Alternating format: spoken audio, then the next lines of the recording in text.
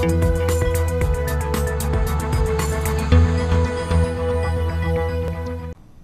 Y ahora es momento de centrarnos en la actualidad del mundo del deporte que viene marcada principalmente por el apartado municipal, porque tenemos que reseñar que el área de deportes del Ayuntamiento de Motril ya se encuentra trabajando en los distintos protocolos establecidos para poder abrir la piscina municipal cubierta. El primer paso lo deberá de dar el Departamento de Riegos Laborales que tendrá que realizar un informe determinando la capacidad de ocupación tanto de la instalación deportiva como de la utilización de los vestuarios, según ha dado a conocer el jefe de servicio del área de deportes del Ayuntamiento motrileño, Manuel Sotomolina. Que también queremos abrirla.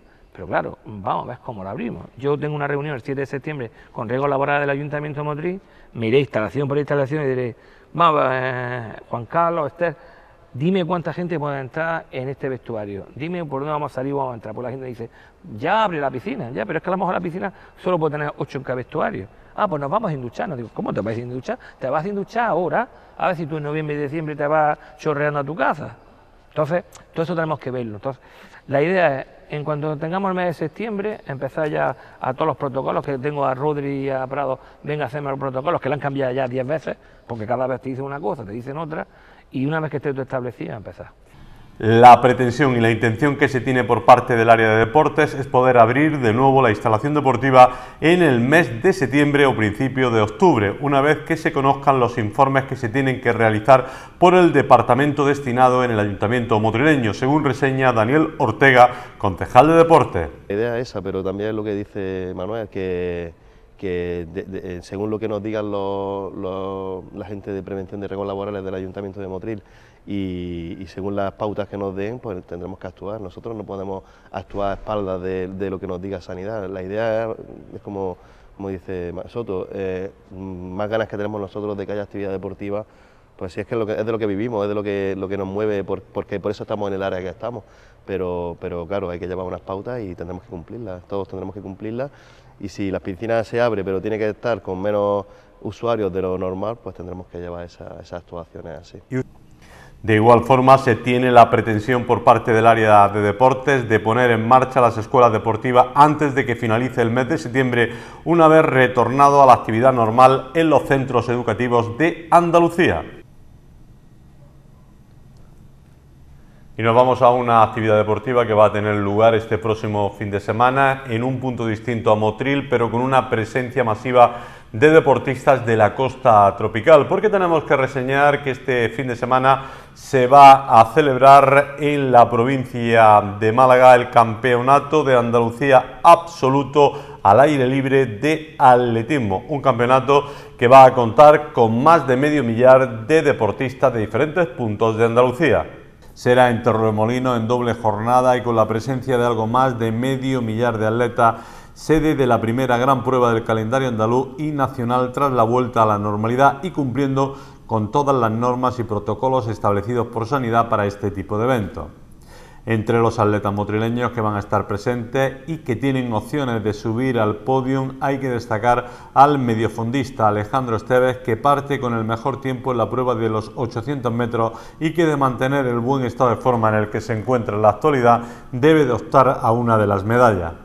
También es una de las opciones, ya al partir con la mejor marca en 1500, Benamar de Yal, el lanzamiento de disco también se tendrán opciones de subir al podium y mejorar su marca de la temporada que logró en Motril José Lorenzo Hernández Nuevo, igual que en la prueba de longitud el almuñequero Darío Bruzón Salado que parte con la segunda mejor marca.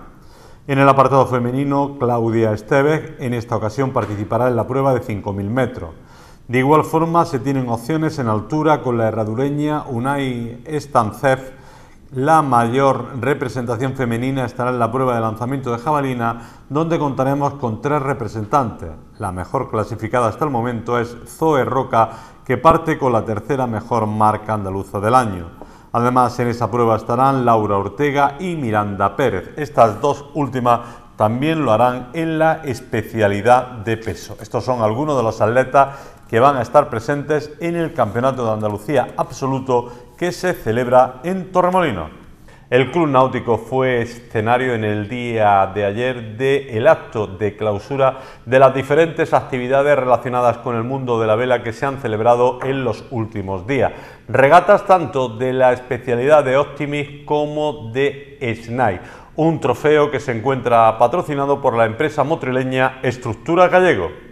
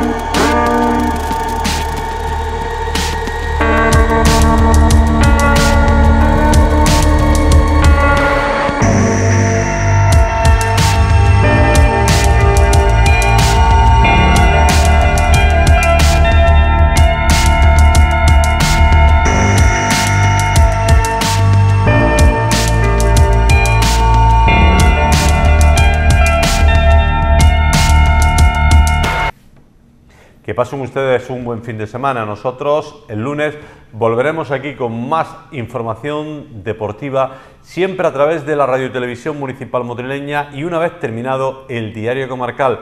Que pasen ustedes un feliz fin de semana. Por cierto, si se marchan ustedes o vuelven a su destino una vez terminadas las vacaciones, piensen que queda un poquito menos para volver a retomarlas. Y si son ustedes los afortunados que comienzan las vacaciones la semana que viene, pues sean bienvenidos a la costa tropical. Que lo pasen bien. Hasta luego.